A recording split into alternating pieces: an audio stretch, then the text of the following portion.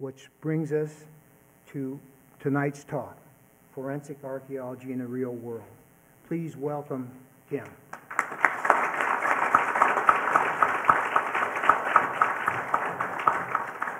Good evening. Um, so, as Jim said, I uh, currently work at the Museum of Northern Arizona, and I have a small bioarchaeology consulting company um, called Past Peoples Consulting that is primarily myself and Kate Compton Gore, another of the center members. Um, and I have probably, well, the vast majority of my bioarchaeology experience has been in archaeological contexts, prehistoric and historic. But I've also consulted with a variety of law enforcement and um, medical examiner um, departments here and in the state of Colorado. And so through that, I've become familiar with forensic anthropology, which is a very closely related discipline. It, a lot of the techniques that we use to look at human remains are the same, whether they're prehistoric, historic, modern. And so a lot of what I cover tonight has a very broad base in all of those disciplines, but I want to really give you um, tonight a focus on forensic anthropology, partly because it's such a big interest right now. I mean, there's how many television shows out there, and um, I talk to a lot of college students, college and university students, who are convinced that that's what they want to go into. And sometimes they do, and sometimes they don't. There's a lot of media hype out there. There's a number of people that I see out here who were in my faunal analysis, um, faunal bone identification class last month. And so this is sort of, for those of you, this is the other half. We looked at um, how you differentiate human bone from animal bone. And this and a lot in detail about the animal bones. And so this will be more detail on the human bones. Okay, so what is forensic anthropology? Um, the purposes of forensic anthropology are, are twofold. The one that most people think of, that's actually the second most common, is to assist law enforcement in the solving of crimes and like I say, that definitely has much more media attention. That's what most of the TV shows are about. But it's really not the most common use of forensic anthropology. The best or the most common use is in identification of individuals in mass disasters, war crimes, MIA, that sort of thing. The, federal, the U.S. federal government has an entire um, division in um, stationed in Hawaii that's a branch of the military that does forensic anthropology mainly to identify um, um, they're, well, they're still, they're still doing MIA from the Korean and Vietnam War. There's also a lot of work that's done in uh, war crimes uh, worldwide. And so, so what does a forensic anthropologist do? Um, sometimes there's sometimes forensic anthropologists are involved in the location and recovery of human remains, um, helping identify missing individuals, helping identify, for instance, MIA remains. Um, sometimes human remains come to the forensic anthropologist. There's a lot of people out in the forests of northern Arizona during hunting season, and they come across human remains. That's true in other settings as well. Um, you know, people out on the lakeshore, people in forests, people hiking, um, not infrequently find human remains. So sometimes human remains um, come to us. Other times, um, and sometimes a forensic anthropologist is called on to help look at the scene, the setting of, of where human remains are found, and help interpret that. But that's not a primary responsibility of forensic anthropologists. More commonly, um, what forensic anthropologists do is they help in the identification of these individuals. So it's the identification of age, biological sex, um, ethnicity, stature, distinguishing traits. We're trying to take this, these human remains and we're trying to link that back and identify an individual in and, and whether it's for a law enforcement case, whether it's for military purposes, or whether it's archaeology. And that's the goal, is to identify a single person. So a lot of the, the popular media um, really portrays the forensic anthropologist as key, the key person in, in these cases. And they're doing everything. And they're on the scene, and they're in the lab, and they're in the, in the computer room, and they're just, they're doing all of these things. And there's a little bit of truth to that. These sorts of investigations are very much team oriented, but certainly um, forensic anthropologists, there's a whole, forensics as a discipline includes forensic anthropologists, forensic chemists, forensic entomologists, who are people who look at um, the bugs that inhabit human remains, um, which can be very useful in looking at the setting where they were deposited and the, how long they've been deceased. There are um, ballistics experts, there are um, pathologists, so there's a huge team that's involved in all of these sorts of things. And the goal is determination of three things. Um, cause of death, mechanism of death, death, and manner of death. And these are technical, medical lingual, medical le legal terms um, that all relate to identifying um, cause of death. What we, what we think of as cause of death is, are things like gunshot, blunt force trauma, strangulation, heart attack. The mechanism of those is, and these are technical medical terms, sanguination, which is um, bleeding to death, as a, for example, as a result of a gunshot wound, asphyxiation as a re result of strangulation, um, pulmonary embolism as a result of a heart attack. And so you see how these things are related. And then manner of death ascribes a cause. So manner of death is suicide, homicide, accident, natural car accident, natural death, those sorts of things. And so these are technically different terms, but it's not, most people just you say cause of death and what they're equating that with what really, what was the cause, even if it wasn't the medical cause. And I don't want to go into that in great detail, but just to kind of give you an idea, the forensic anthropologist has feet, many feet in a lot of different worlds. So there's the, there's the biology of the individuals, there's the medical side of, of these sorts of diagnoses, there's the legal aspect. Um, most people who work as a forensic anthropologist have pretty extensive training in um, law enforcement and legal uh, jurisdiction because it can be very, if a case goes to trial, you have to make sure that all your ducks in a row. Um, and so how do, how does the popular media of forensic anthropology stack up to reality? Well, it's not bad. It's not a bad depiction. It's as good as most other um, cops and robbers show. There are a few differences, mainly with techniques. Um, I don't care who you are, you're not getting DNA results overnight. Even the FBI doesn't get DNA results overnight, and you don't get them out of the back, out of the trunk of your car. These things don't, but it's not very dramatic to say that, that you have to wait six days. So um, we have to forgive, over, overlook things like that.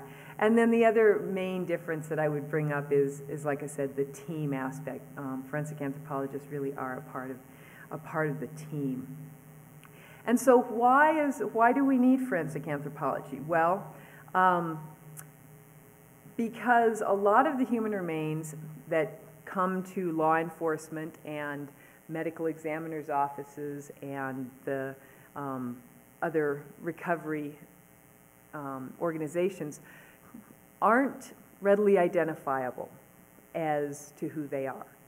This, they, this includes broad categories like bodies that have been burned, bodies that have been submerged, um, and so are you know, either bloated or have decomposed, bodies that are left in the open and have partially decomposed.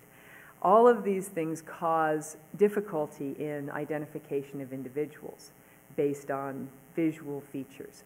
And so the forensic anthropologist, the specialty really is looking at the skeletal remains. And we don't really care much for the soft, squishy stuff. In fact, the more, the less soft tissue that's left, the more bone that's exposed, the more likely a forensic anthropologist is going to be able to answer your questions. And so in some cases, um, bodies that are heavily decomposed, the um, forensic pathologists will get all the information they can from the remaining soft tissue, and then um, bodies are mechanically defleshed. Because what we really want to look at is the bone. Why do we want to look at the bone? Well, bone is very useful um, because it's much more durable than soft tissue. And it will survive burning, submerging, weathering, exposure, not always perfectly, but much better than soft tissue does. It also offers um, information on just the type of things that we need to know age at death, biological sex, the ethnicity, stature, and individual characteristics. Um, in some ways, the skeletal structure, the skeletal remains of an individual are just as diagnostic of that individual as their outside um, soft tissue parts, and I'll get into that. And so, so bone really does have the potential to answer a lot of questions. I was at a forensic uh, workshop one time, and the guy who was teaching it said, Bone never lies, you just have to know what questions to ask. And so, following that, I get a lot of questions about forensic anthropology, but the top three questions I get, the number one question I get, um, so here's a, here's a, the skeletal, the esteemed skeletal structure of an individual. Um, the, the main question that I get, or the, the first question I get, is how do you know how old that person was? And there's, it depends on whether you're working with an adult or a juvenile individual. There's different techniques that are used sort of before and after someone passes through puberty. Juvenile individuals have a lot more bones than we do. Um, the average adult has 206 bones. I say average because some people have one more or one less rib, one more, one less vertebra, one more, one less toe. There's, there's variations, but typically 206 bones. Um, that contrasts with an infant who has about 270 bones. And at birth, um, the average neonate has about 300 bones. And the reason that there are more bones when you're born is that each long bone So when I say long bone, I mean the bones of the arms, the bones of the legs, right? They're long, they're linear. This is a right femur bone. Most people have seen this if you've seen um, 2000 A Space Odyssey. So when you're, when you're born, this bone is not one bone, it's four bones. There's a part right here, there's a part right here, there's a part right here, and there's this. And these three parts, the, what are called the um, epiphyses, are attached to the main shaft by cartilage. And so it's held together, it doesn't move around. But this is what lets you grow. And the slide that I have up here is actually this bone. This is your lower leg bone. It's the one, the really sharp one there that hit, hit, hurts so bad when you hit it. And what this is showing, ah, I have a pointer is that when you're born, when you're an infant, this bone is composed of the long part and the top part and the bottom part. And these are held together by cartilage. And this is necessary because otherwise you could never grow. So as you grow, this, each of these parts, this part, this part, and this part, expand. And the cartilage lets that shaft grow longer. When you go through puberty, the reason you stop growing is because that cartilage turns to bone. And it's that's caused by hormones. And so that's why you stop growing at the end of puberty. And so what this slide is showing you is what this bone looks like at different ages. Um, and then you can see as an adult, they're fused, and you can just barely see where that line of fusion is. And you end up with one whole bone. So that's why infants have more bones than adults, because that happens with every one of these bones. The age at which those things fuse is very, very regular across ethnic groups, across um, dietary status, across nutritional. These things happen at a very regular rate. And so um, a forensic anthropologist can look at a bone that's partially fused and say that this person is probably, this is the, this is showing the age at which these fusion, this fusion happens. So, for instance, I said the head of the femur right here. That fuses between 15 and 20. There's a little bit of difference between males and females. Everybody knows that girls hit their growth spurt first, right? Go through puberty, and then boys usually have a later growth spurt. So that age here, most females, that fuses between 15 and 19, whereas for most boys, it's between 17 and 21. And so this is a good um, guide primarily for individuals who are between about the ages of, say, 14 and 21. And if you have a complete skeleton and you can look at every one of those points of fusion, you can get a pretty good idea how old someone is. And for most juveniles, we can get within a two to three year age, age range if we have a complete skeleton. The other way we tell, and this is a better method for younger individuals, is the development and eruption of the dentition. I know this is kind of a funky looking chart if you're not used to looking at it. What we're looking at here is the upper teeth and the lower teeth. So we're looking at the right side. You're just looking at it basically here. And the dark colored ones are the deciduous teeth, the baby teeth. And the clear ones are the adult teeth. So it gives you a, what they look like um, at different ages. Um, at, at birth, more or less, the crowns of the baby teeth have already formed and they're up inside the gum line, so nothing's erupted. But by one year of age, those teeth are beginning to erupt.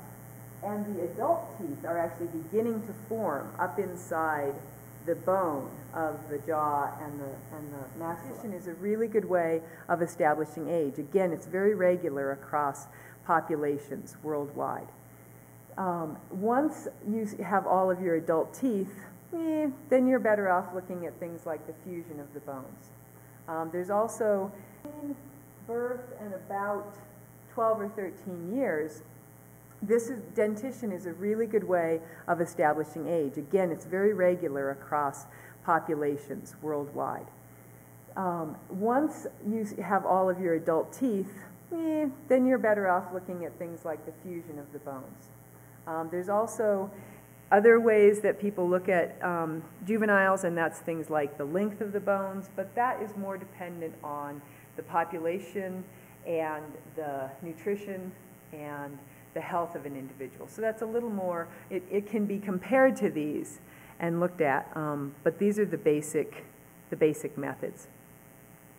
This is a, a mandible, so we're looking down at the mandible of a juvenile. You can see the baby teeth are all erupted here. Those are the baby teeth. Right here, down inside the bone, you can see the adult teeth. They haven't erupted yet. So we know that this, this person is less than six years old, probably about four. So once we get to be an adult, then how do we determine age? Um, I tell my college students, they don't think this is funny, but most of the older audiences that I talk to, the way that we look at age from birth through about the mid 20s is by progressive development. Development of the dentition, development of the bone. From about the mid 20s on, the way we age is based on degenerative processes. and college students don't get that. They don't think that's funny because they're going to live forever at 25. Um, but the reality is that that there are there are ways that the body that the skeletal structure of the body ages that are very regular. Not not all of the not all the processes. Obviously, some people who are 50 are you know having having trouble walking. They have a lot of arthritis. They're they're not, their body is, has degenerated much further than other people who are 50 who are in great shape and they're out riding their bike 30 miles a day. And so some things, some things depend on the person. They depend on your genetics, on your level of activity, on your lifestyle. But there's other things that are very regular. And some of these, you're gonna have to bear with me a little bit, because some of this is pretty technical stuff. But, um,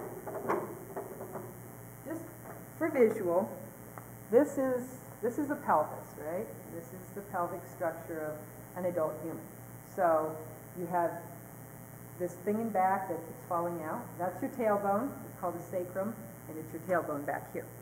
Um, the two sides of the pelvis, it's much easier if you don't have the sacrum floating around. Like this forms the pelvic bowl. So this rim right here, that's your hip bone right there that you can feel. And these two that come together right here in front is the bone that's right there in front of your uh, lower, lower torso.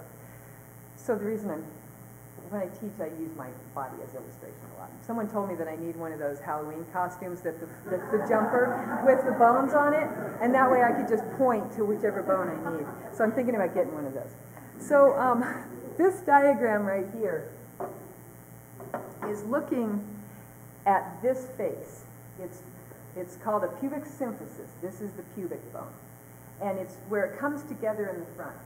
And through um, a, an individual's age, through an individual's life, from, from starting in puberty and extending all the way, this surface remodels.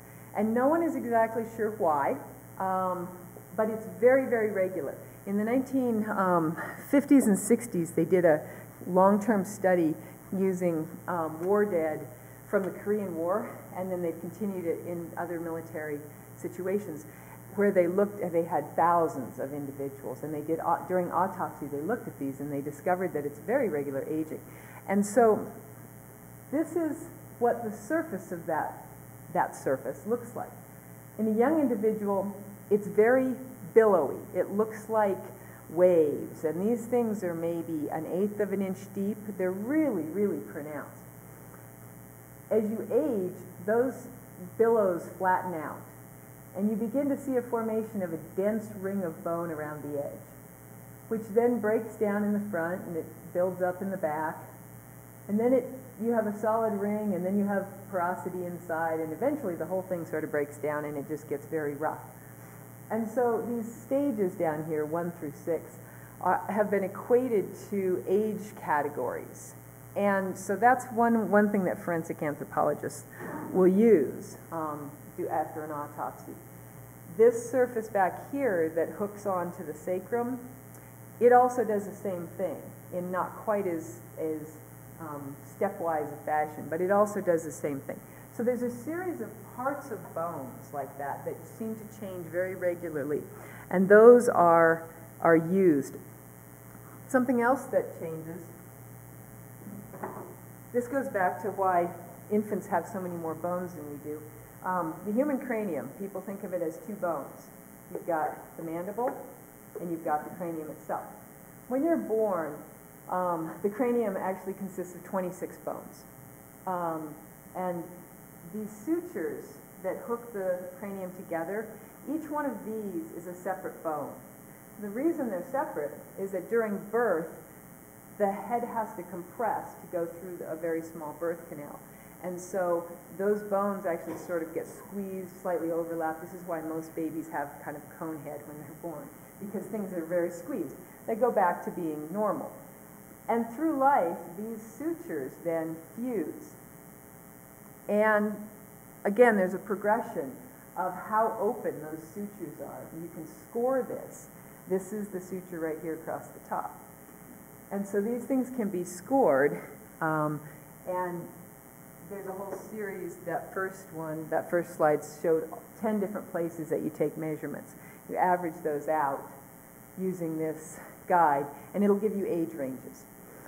And so the goal on an adult individual is to use as many of these methods as possible because none of them are nearly as precise as they are for juveniles. So even if you have a complete intact adult who hasn't been burned or hasn't been exposed on the ground, um, you're still only likely to get about a five to seven year age range, and that's good. You might get a 20 or 15 to 20 year age range. And this is partly why, um, again, it's more difficult to identify, say, missing individuals. Other supplemental information this is a, vertebra, a vertebra of the back. And we're looking at it end on. So this thing here, these are the, that's the knobby part going down your back. This is the body, and in between the bodies, you have those problematic discs that tend to bulge and kind of thing. But when you have severe arthritis in your back, this is what it looks like. So you have bone spurs that have grown around the edge. And what those do is they poke the nerves, they squeeze the discs. This is why low, uh, particularly middle and low back arthritis can be so painful. Again, not everyone gets this at the same rate, but there's a, these things can be supplemental information for all of the other methods that we use for adult aging. Um, X-rays can be very useful. Um, most of us know that as we get older, bone gets thinner, particularly um, for postmenopausal women, but also for older men. The bone density changes. And this is a series of x-rays um, showing the density of the bone. This is the bone of the upper arm. And so it's showing that part right there, showing the head and the upper part of the shaft of the upper arm bone. And you can see how much less dense the bone is in, at older ages. Again, it depends on the individual, but there's definitely a trajectory in that, in that manner. Okay, so the second probably most common question I get is how do you know what sex that person was? And I have to make my little diatribe here. Forensic anthropologists don't determine gender. We determine biological sex. America, Americans and Europeans have a very hard time with the word sex. And so the term gender has very much replaced that. And I, you know, fill out any for, government form and it'll ask you for your date of birth and your marital status and your gender. What it's actually asking you is for your sex because the choices are male or female. Gender is the social role that an individual takes, chooses, doesn't choose, is born to, however you want to look at that. That's gender. So you can have a ma biological male who may be female gendered or may be male gendered.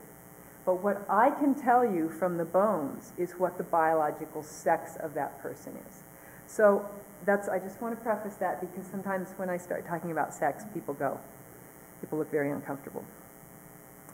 Um, so determining sex is usually only possible in adults because they've gone through puberty. And the characteristics of the skeleton um, that are diagnostic of sex develop during puberty. In life, or in death as in life, the um, pelvic structure is the most diagnostic of sex, followed by the cranium. And this makes sense because the differences in the biological sexes is largely due to the changes that we go through in puberty and the, the skeletal structure that results. So what this slide is showing you is this troublesome pelvis that is going to slide right out of my hand is put together like this. And these two lower ones are looking at it straight on, more or less like I'm holding it. The upper one is looking at it as though you're looking down on it. Okay. And so the differences in the pelvic, pelvic structure between males and females are largely have largely to do with um, reproduction. Female pelvis is very um, it's very open, right? It's very, if you look down in, through what would be the birth canal, there's no obstructions. It's very, very open, whereas in the male, it's folded inward. There's these troublesome projecting parts here. Um, likewise, and it's a little hard to see here, you can see a little bit more. The whole pelvic bowl is very round um, because it holds a child. The opening And these are a little hard to compare because this one's just so much bigger than this one. But if you look here, you can see that um, this opening in front is more rounded, more broad than it is in a male. And so all of these things are very um, obvious on 90 to 95 percent of individuals. There are some individuals who obviously are right in there between, um, and you can't always tell. One of the things is it's called a sciatic notch, and I need to get the right side here. So this that pelvis that I was holding up, this is the left side of it. This is it, right here. And this notch is called the sciatic notch. It's called the sciatic notch. That's where your sciatic nerve runs. Anybody who's had sciatica, it's because the nerve that's running down through there is getting pinched. Not, not fun. But you can see the range of variation of how big a sciatic notch can be. Obviously, this is going to be female. This is going to be male because what that does is it opens up the entire pelvis. This is a very tight one. There's what we call the rule of thumb. Put your thumb in there. How much room is there to wiggle it around? Well, this is kind of not very much room, but not, not too tight. This is a male, but it's not a, it's not a male like that. Um, a female, you put your thumb in there, sometimes there's room for two thumbs. It's really, really wide open. This is looking at the front part here, the, the pubic bone here. And so on a male, this part right here is very wide, and it's pretty straight. On a female, it pinches in. It's much narrower. It's not wide, it's narrow. And it curves rather than being straight. Again, it's opening up that whole lower part of the pelvis. It's opening up the birth canal. So these things that, you know, in each one of these you look at and you go, I don't know. But um, with experience and particularly there's been um, studies and there's whole series of these. Um, and that's where those those drawings come from. With a pretty complete individual, it's pretty easy to figure this stuff out. Um, cranium, in general, men tend to be much more muscular, particularly of the shoulders, neck, um, this upper part. Even muscular women don't typically have the muscle mass in their neck, shoulders, and um, that men do. And this is reflected in part in the, the skeletal structure of the lower cranium um, where those muscles all attach here. If you feel right behind your ear, that lump, that's called the mastoid process, right here. It's very, very prominent in men, not so much in women, right here. Um, this area on the back, the lump that keeps your baseball cap on, right there, called the nuchal crest. And nuchal, it's much more developed in men. And I say these things, you know, much more, much less. It's kind of relative, but there are, there are certain sort of break points uh, where we see these things. The shape of the orbits, the shape of the mandible, this is, a, again, a series. Here you've got your mastoid processes, small, much larger. Um, the mental eminence, which is the, the front part of the mandible, um, very minor. Think of the big square jaw, heavy jaw that a lot of men have very few women have that kind of skeletal structure. So, question number three How do you know? How did that person die? This is probably the one that, the one that most people want to know. And um, it's both very interesting, friends, for uh, forensic anthropologists, it's also kind of difficult because um, there's a lot of ways to die. There's a lot of ways to kill someone that doesn't leave evidence on the bone. So you can have a heart attack. You can be poisoned. You can um, come down with the flu. You can come down with Ebola. None of those things are going to leave evidence on the skeleton because they happen so fast that there's no time for the bone to modify, to change. But that being said, think back to that that illustration of the, of the human body. It's difficult to kill someone or to die in, in a traumatic fashion without leaving evidence on the skeleton because there's only so much soft tissue that overlies it. Um, the most um, vulnerable parts of our body are our torso, our internal organs, and our brain. And internal organs are protected by the ribs, but the ribs are pretty close together. So fractures, fractures, there are often um, evidence of trauma can, can be in fractured bones. And when a bone fractures, the body immediately wants to fix it, right? It wants to stabilize it. And so what it does is it, it puts on a whole bunch of new bone right where that fracture is. And it forms what we call a callus, just like a callus on your skin. And it's just all this new bone that's put on to stabilize. This is example of three ribs that are, have been broken. And you can see this lump. Well, here you can see the break, but you can see this lump of bone that's grown around where the fracture was to stabilize those. But you can see that those are, you know, in line, and the fact that those are all right together suggests that this probably happened as a single event. But the fact that they're healed so well, particularly these two, means that this individual lived through that. Obviously, the bone isn't going to heal if you don't live through the trauma. And so we can say, we can look at the, a fracture in a bone or any other kind of trauma to the bone, and we can look at it and we say, you know, is there evidence of healing or not? If there's no evidence of healing, then that was probably the cause of death. There's also, there's ways, and the knife here is subsidiary. My point is that there's ways that bone fracture um, in accidents, falls, and there's ways that bone fracture from things like blows. And they're not always identifiable in those two categories, but for instance, if you fall, if you trip and fall, and you put your arm out to catch yourself, the break is mostly down here at the distal end of these bones because it's compression. It just punches them in and that breaks there. If someone is trying to hit you and you raise your arm in defense, chances are the break is going to be here in the middle because we tend, that's where how we tend, it's called a parry fracture.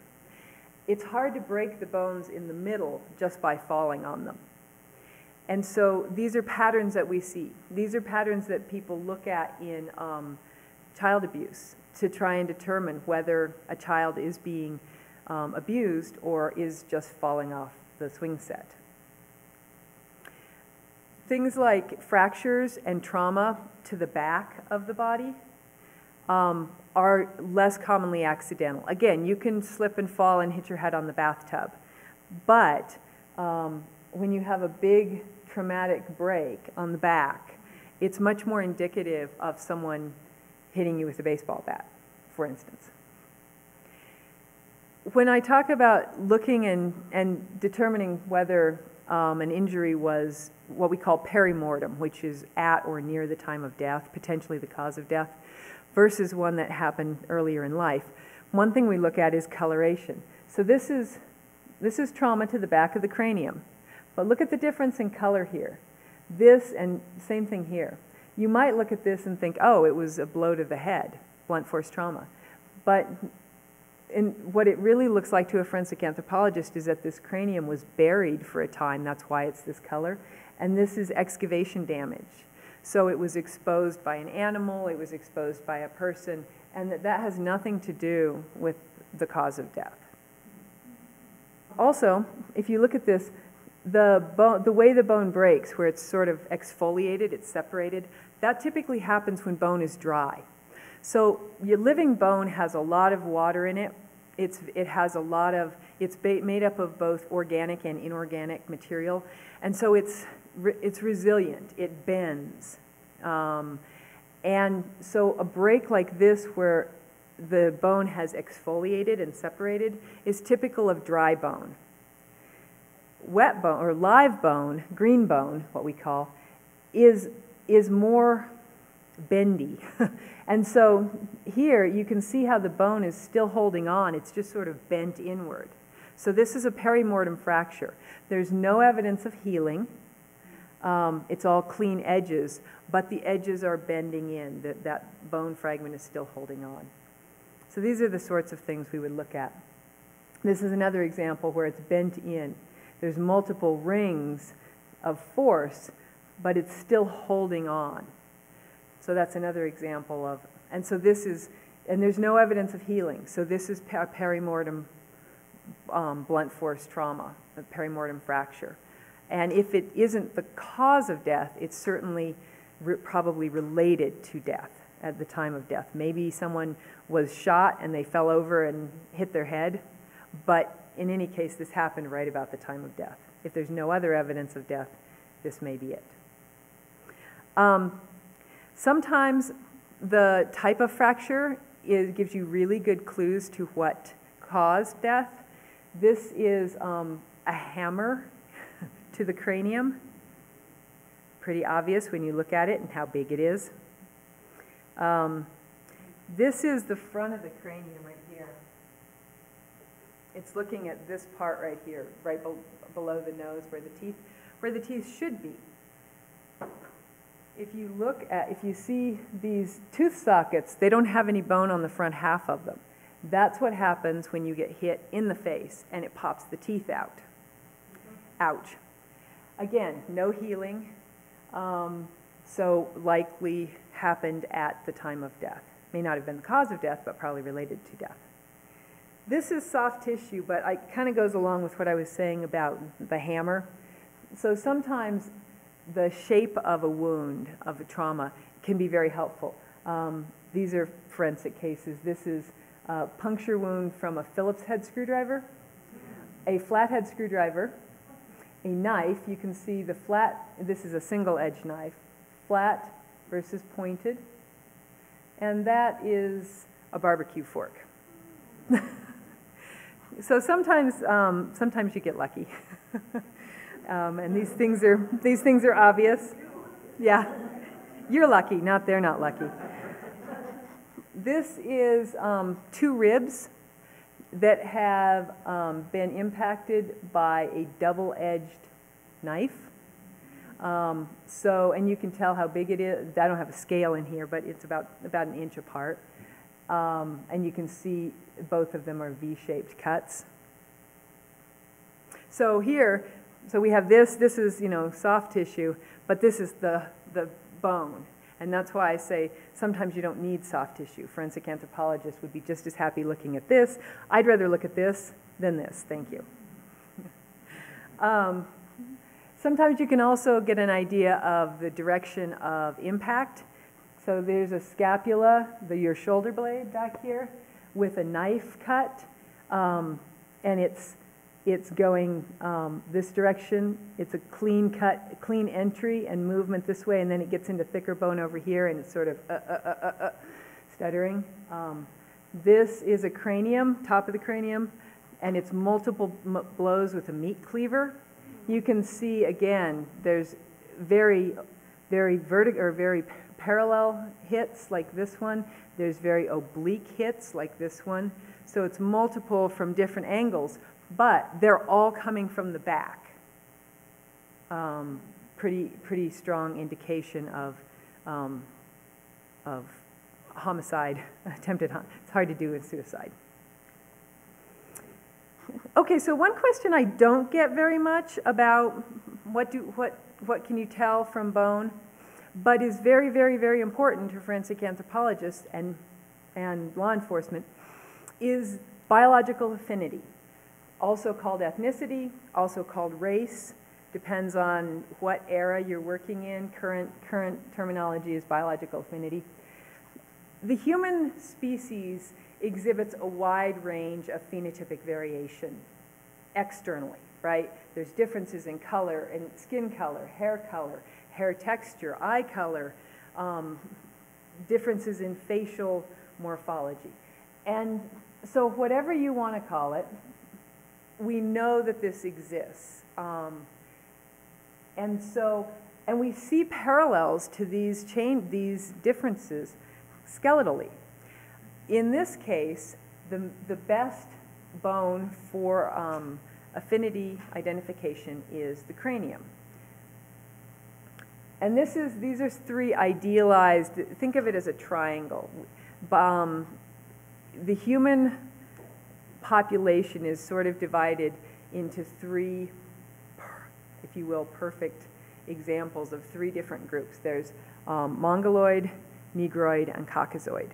The reality is, particularly within the last 500 years, not very many people look like any one of these because there's so much population movement, there's so much genetic mixing. If you go back 2,000 years, these, these examples work. In the modern world, not so much. But um, there are a whole series of measurements that are taken on crania, and there's databases that are kept at some of the research institutions and universities here in the US and also in Europe. And you feed all these measurements in. These are examples of the measurements. You feed them all in, and it takes this big triangle matrix and it spits you out and you says, well, you're, you have a 83% chance that you're mostly this. Um, now, the kicker here is that that's not necessarily how people identify themselves, right? We all know people who are of mixed ancestry, and which ancestry they tend to write down on the census or put on their driver's license or whatever is, is a choice of the individual. It's a lot like biological sex versus gender. The biological affinity might not be how someone self identifies. So if you're looking for a missing person, and that missing person has identified themselves as Filipino, and your skeletal um, says that they're Caucasian, there's some difficulty in meshing those. They may be um, Filipino American, or they may be Indian subcontinent, which has um, typically ca- Caucasoid structure, um, skeletal structure, but a lot of um, Southeast Asian um, biologic or cultural affinity.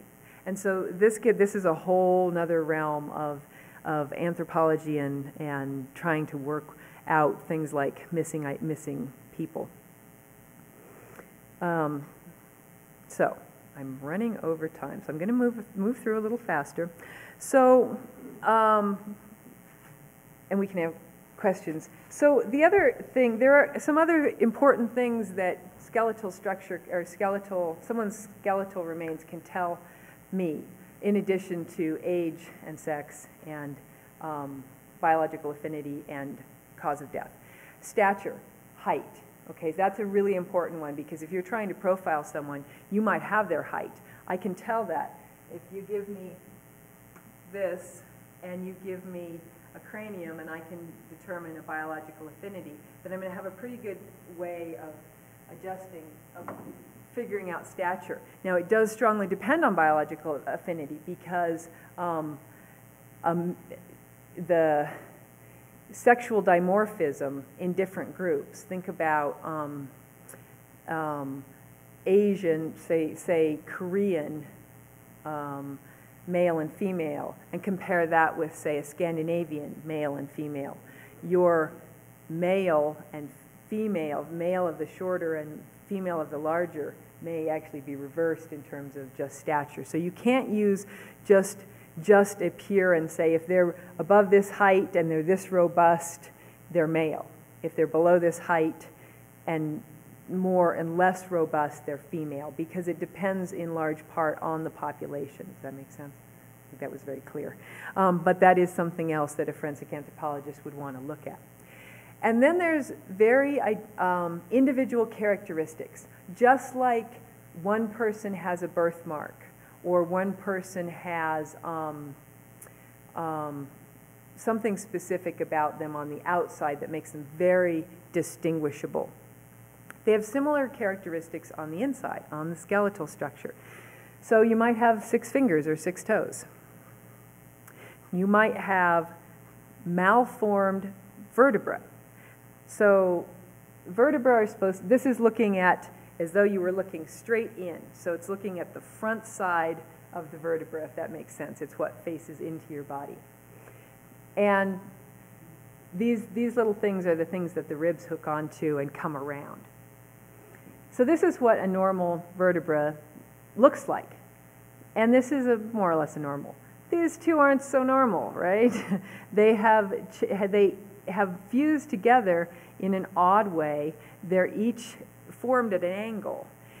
this person probably never knew they had this because other than being slightly stiff at one joint in the back, it's not going to do anything. It doesn't affect your longevity. It doesn't affect your ability to bear children. And so it's not um, advantageous, it's not detrimental. And so they probably lived a perfectly normal life and never knew they had it. Prehistorically, they'd never know. These days, with x-rays, military enlistment, all of those sorts of things, we have medical records. And so if we find an individual who has something like this, it increases the chances that we're going to be able to identify that person specifically. Um, in a similar way, dent dental um, traits. Um, so this is, again, these, these little tiny bits and people are going, what the heck is that? So this, this upper right, um, it's this part of the upper, so this is the upper dentition. And what I'm looking at here is, see these ridges right here? Um, and, and this is looking into the mouth, so these ridges right here. That's what we call shovel-shaped incisors. This is a single shovel, this is a double shovel because it's shoveled on the inside and it's also shoveled on the outside. Those dent, that type of dental morphology is very common in Native American groups and Asian groups. And which is one way that people figured out that Native Americans probably came from Asia because other populations, European populations, that occurs in minuscule numbers of individuals. Um, it can, but it's really rare. And these are um, molars, so they're the teeth in the back here. And what I'm looking at here is, um, see how the, the, this is the enamel on the crown. See how it dips down into this pocket? It's called an enamel extension. I'm sorry, that's a pearl. You can actually see it has a little pearl right there. This is an extension. It's going down in there. Most people don't have that. Most people, the, the enamel goes straight across. And again, these are, this is very common in some populations, but not very common in most populations.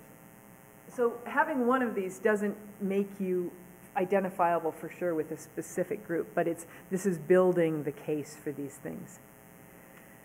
Um, the other thing, again, sort of like skeletal anomalies that you might not ever know you have, the life, your own life history. If you've ever broken any bones, then you have a callus of bone where it healed.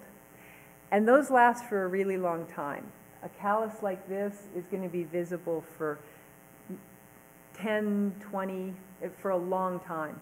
And so x-rays, when you go to the doctor and they look at to see if it's healed, um, if those are available, those are very useful to compare forensic cases. Um, and those sorts of things are used a lot. Dental records, um, x-rays, those kinds of things to verify individuals. Okay, um, so all that's the background. Now let's talk about the interesting stuff. So I wanted to talk about a forensic case and kind of go through how you apply all this stuff. And I was trying to think about the various forensic cases I've worked on, and um, kind of dry and dull. So I wanted to talk about one that I did that was archaeology. It's historic archaeology. In 2007, I worked on a project in southern New Mexico, for those of you who know where Socorro is. It's sort of south, southwest central New Mexico, at a place called um, Fort Craig. So Fort Craig was a military base, a military post that was occupied or that was garrisoned between 1854 and 1885. It was along the Camino Real, the Spanish trail that went from Mexico City to Santa Fe, New Mexico. And that was a tra travel and trading route for hundreds of years. It's just next to the Rio Grande River. And it was established to monitor um, the Camino Real. And then it also became in, uh, in, integral during the Indian Wars, um, during the Apache Wars. But of some note, Fort Craig is the site of the first Civil War battle in New Mexico. Most people have heard of the um, Galisteo, or um, Galisteo Pass. Yeah, not Galisteo. Glorieta Pass. Glorieta Pass is the most famous because it involved more logistics and it was a moving battle. But that was actually the second Civil War battle in New Mexico. On February 21st, 1862, at Fort Craig, um, there was the Battle of Val Verde, which took place. And then, and it was a pretty decisive, well, it wasn't a decisive victory. It was um, somewhat of a draw, but the Confederates technically won. And then moved further north to Glorieta, where then they were turned back in March, a month later. The, um, the battle at Val Verde um, ended with about 74 Union um, troops dead, and they were buried in the post cemetery there.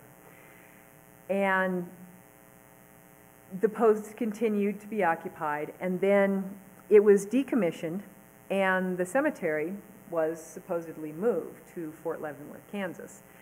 And then the post was recommissioned about 10 years later um, during the Indian Wars. And then, I, like I said, it was closed in, or was decommissioned for good in 1885. Again, the cemetery was supposedly moved. This is what Fort Craig looks like now. It's a state park. Um, it's been partially stabilized, but mostly it's just, it was built of adobe. It's a very dry area, and things have just lasted. Um, this was the civil, this is, they do a Civil War, they do a reenactment of the Battle of Val every year, and it's quite the spectacle to go to.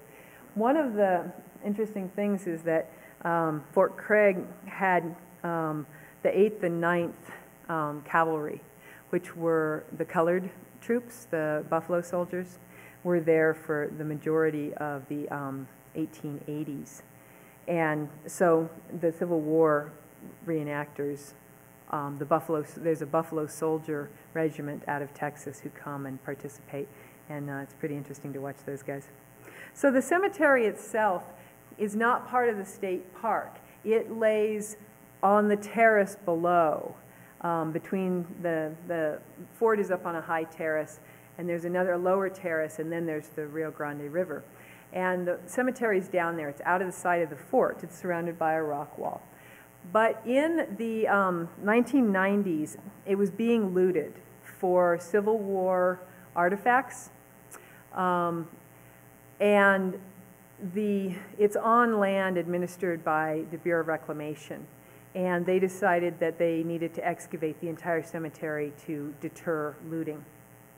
And so in 2007, we went in, we did ground penetrating radar to identify the graves, and then we went in with a backhoe and we exposed them all, and we, they're in rows, it's a, it's a military cemetery.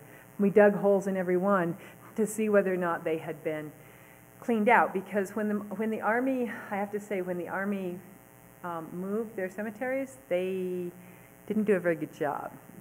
There were 264 graves, and we had 67 individuals remaining. Um, they were primarily in deeper graves, so it looks that whoever the Army contracted to um, move stopped digging at about three and a half feet. So anybody who was buried deeper than that did not go. Um, they also didn't get the people who were along the edges of the cemetery.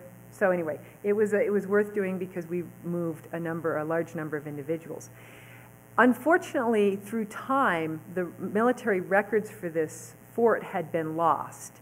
And so we didn't, we had a cemetery map that showed the rows, but it didn't say who was where. We didn't have any evidence of individual graves. And so, um, but we did have records from the post um, in terms of who, who was there enlisted. Um, we had the, the garrison records. So we had who was there, name, age, um, stature, all of their enlistment records. And then if they died there, we had the hospital records from them being died, from them having died. We just didn't have headstones and we didn't know who was buried where. So one of the main things that we were trying to do in this process was identify people. Those 67 people we still had, trying to identify them. We were only successful in a few cases, um, partly because it, it was, you know, it's been a long time and there was a lot of, there were a lot of generalities. But this individual, Levi Morris, um, who was a private in Co- Company B of the 9th Cavalry, he was 27 years at, at death. The, the death record we have for him said he was 27 years old, male, African American, 5 foot 2. And that was based on his enlistment records. The hospital log states that his death was, quote, from being struck by an axe in a quarrel with a member of his company in the upper um, back, upper right side of his, or upper left side of his back. He was admitted to the hospital on June 22nd, 1877, and he died uh, seven days later after the wound became gangrenous. Not good.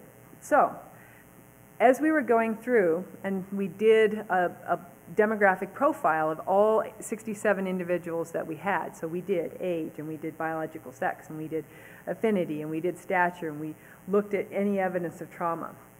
We had an individual who was aged 25 to 32, um, was five foot two, was African American and male, and had trauma. These are the upper left ribs.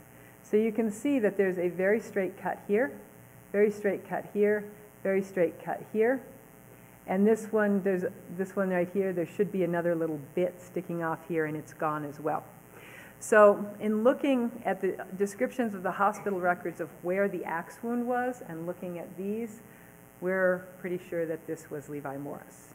And because it matches, um, there's no evidence of healing because he died very shortly afterwards. And the, the stature matches all of the other biological status mat matches.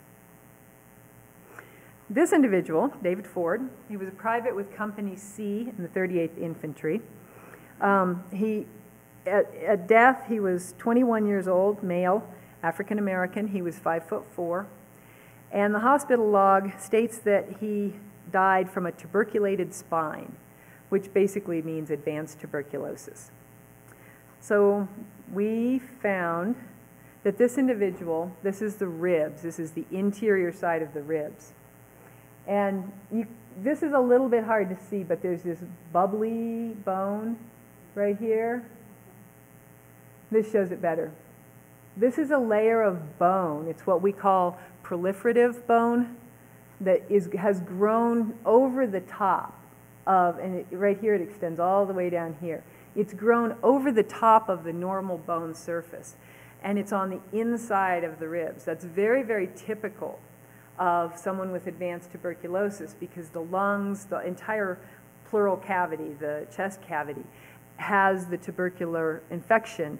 And so the bone is reacting to that and it's basically trying to protect itself. It's putting on all of this new bone. This is very common um, in, in both tuberculosis and advanced other types of um, lung diseases. So again, based on the height, the um, sex, the age at death, and the biological affinity, plus the um, evidence we have from the bone, we identified this individual. And all of the remains from that um, excavation were reinterred with full military honor, full color guard, full um, 21 gun salute at the military cemetery in Santa Fe in 2009. That's the drawings that I showed you. They did those of all the individuals that we could identify. They had a, a forensic um, woman who, who works with forensic cases to do the facial reconstruction, and she did those drawings of the person based on the, the skeletal structure.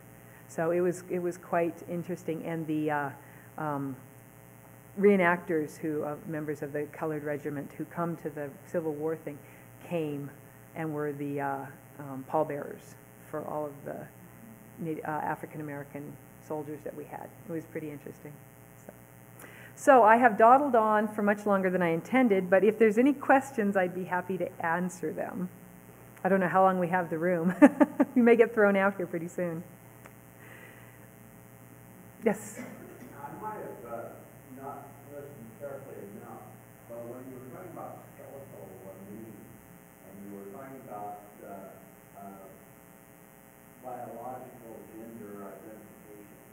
Uh, you, it seemed like you moved right into, after puberty, you were able to identify, um, the skeletal, from skeletal remains, you're able to determine, uh, the, uh, The biological biological gender. Uh-huh. Uh, If archaeologists uh, find a, a grave site, Mhm. let's say, and there's a, uh, ske- there are skeletal remains of a child, uh, how would they go about being able to say, that was a little girl, uh, uh, et cetera, et cetera, et cetera? It's, uh, I think, uh, that has been, um, It has been done, it's not done frequently. So did everyone hear the question?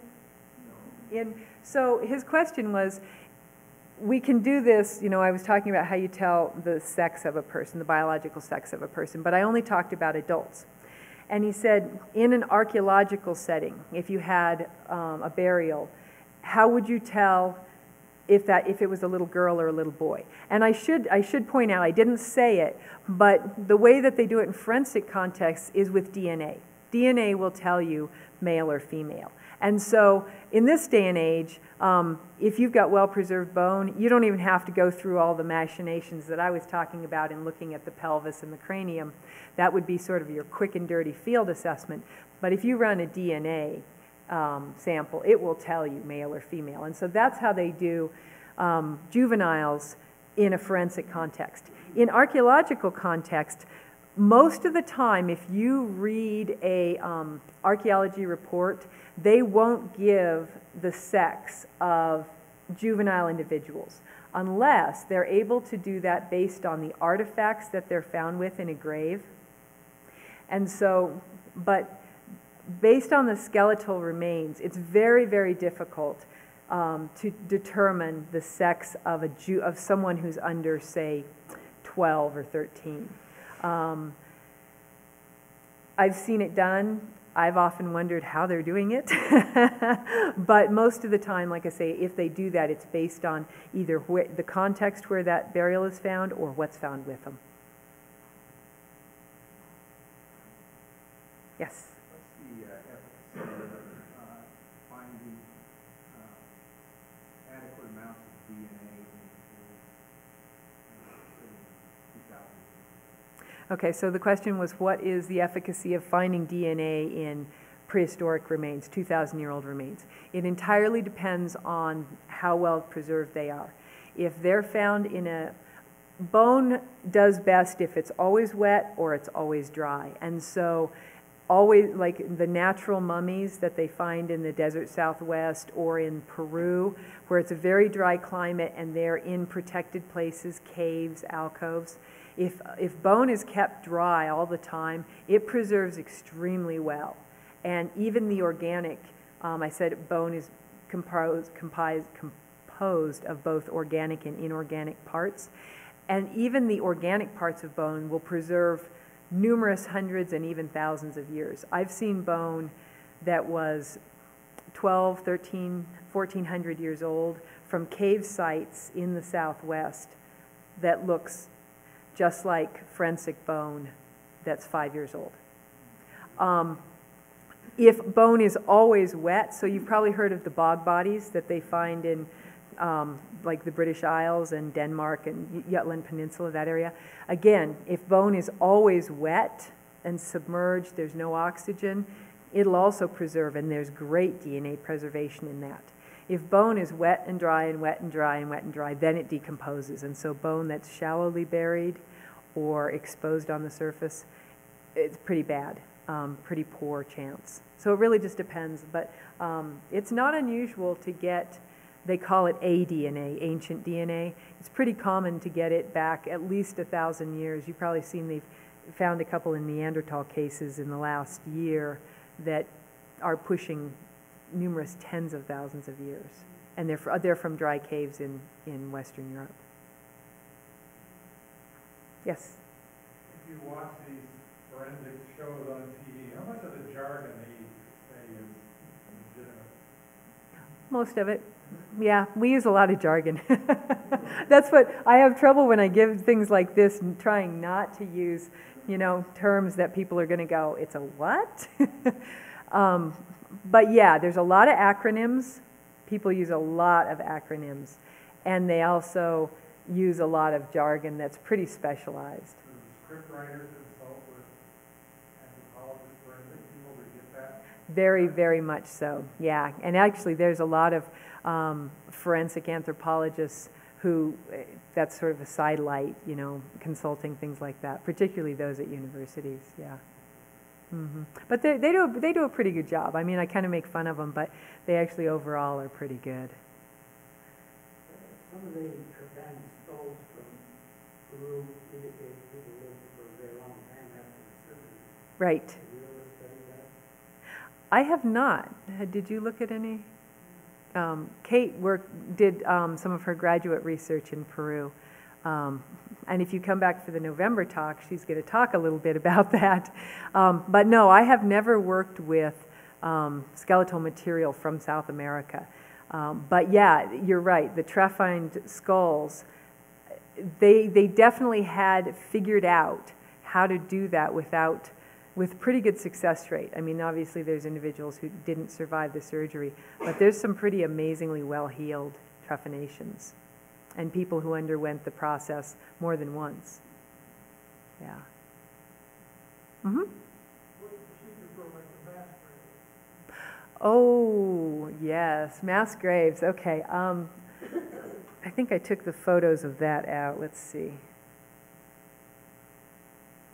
Yeah. Um, so mass graves are very, very interesting. Um, there's, actually, I think I do have. Funny you should ask. Okay. So this, this is one of the things that you do with a mass grave. First of all, you excavate very, very carefully, and you you. Um, a lot of times, if it's big, you'll like lay boards across, and you'll be laying on boards while you're excavating, so that you're not crushing anything, you're not displacing it, you're not moving it.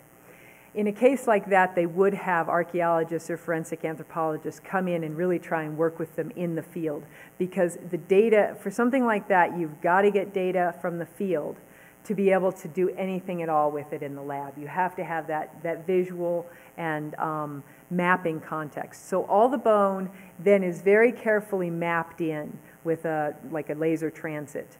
Um, where it is, how deep it is, how it's oriented.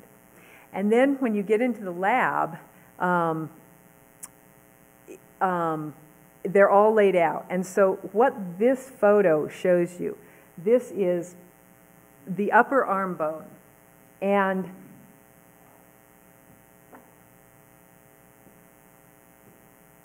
so that right there is this right here. And so what this slide is showing you is that you have, and, and a forensic anthropologist, I mean, I can tell you that this is a right because this thing sticks out more than this side, and on the left it would be the other way. Same thing with the head, I know it's got to fit in that way. But even there's, there's things about the shape of the shaft that if I only have that much, I can still tell you if it's a right or a left. So these would be separated into right side, left side of every bone in the body. They would also be separated into is it, juve, is it juvenile, is it adult? And so you end up with lots of tables, one for every left, you know, left arm, right arm, each bone of the arms. And then you count, and literally it's a, for this one, this is a right humerus. I have one, two, three, four, five, six, seven, eight, nine, but 10, 11, 12, 13, 14, 15, 16, but this one right here, the end of it's not fused, so this is a juvenile. All of these right here are juvenile individuals. These are adults. Um, and then I can look at this here. This is a juvenile individual. It's the other end of it. And I can look at it, is it the right size to go with any of these? And if it's not, then it's another individual. And so you look at how many parts fragments you have that could go together or that could not go together. And you're going to ultimately end up with a count. And you're going to do that for every bone in the body and every tooth in the body. And you're going to, it's very time consuming. Um, And you're gonna end up with a count of how many individuals of different age categories. Some bones you can do sex, some you can't. A pelvis, you would divide it not only into ages, but also into sex. And that's how you come up with a broad profile of how many individuals.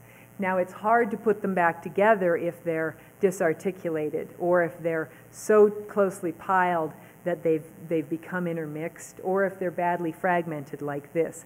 It can be hard to um, put, them, put individuals back together to identify individuals by characteristics.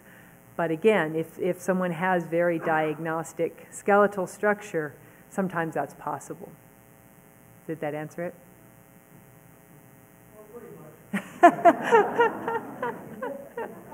and for something like a mass disaster, like a, like a plane wreck, um, plane wrecks, well, this is sort of what you end up with. Um, very, very heavily fragmented, um, often burned, very often widely scattered.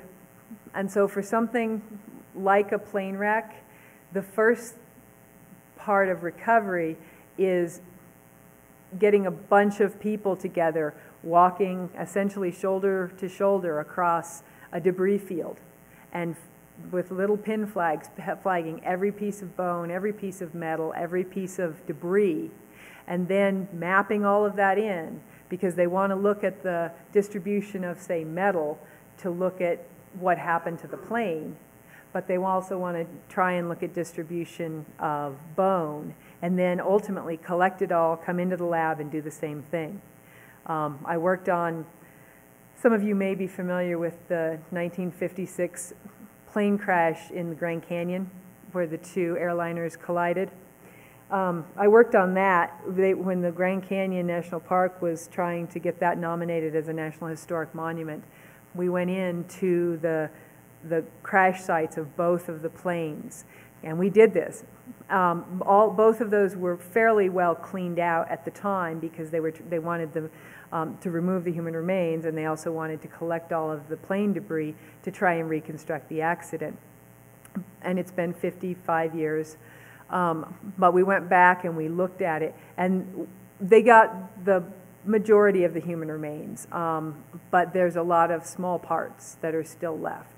And we did the same thing. We mapped um, all of the bone.